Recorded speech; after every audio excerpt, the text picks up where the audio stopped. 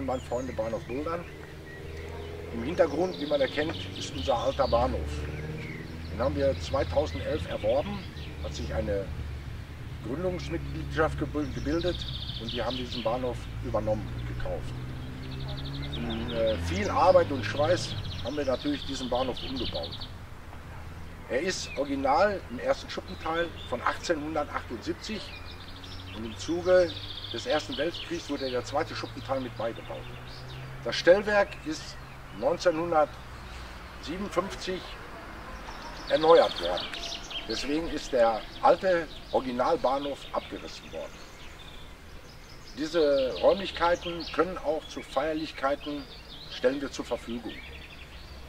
Untergebracht ist auch der MEC, der Modelleisenbahnclub äh, e.V., der sich 1988 gegründet hat.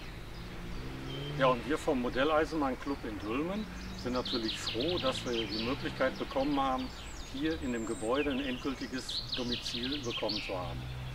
Ursprünglich waren wir eine kleine Gruppe, aber durch die Nutzung dieses Gebäudes sind wir mittlerweile auf knapp 30 Mitglieder angewachsen und unsere Jugendgruppe, die jetzt auch schon zehn Personen umfasst, ist total begeistert, weil wir halt nach der Fremo-Norm unsere Module fahren lassen und damit auch nicht nur hier, sondern auch auf anderen Ausstellungen das nutzen können.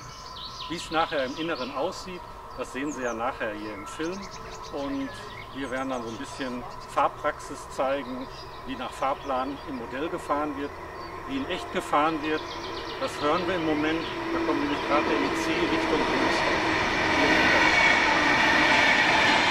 Ja, ich einfach sagen, schauen wir einfach mal rein.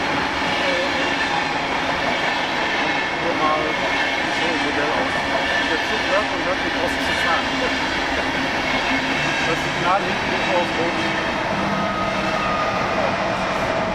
Okay, das war's. Danke.